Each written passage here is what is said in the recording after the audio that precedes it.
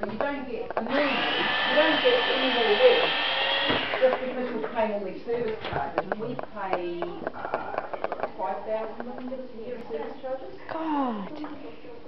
It, it's gone up hugely every year. And it's just a scam. The whole thing's a scam. The company that takes over doing it, because it's got a quarter, 24 hours a day. You got a quarter, Mm. 24 hours a day? What a waste of money they are. Mm. This prick, I mean, honestly.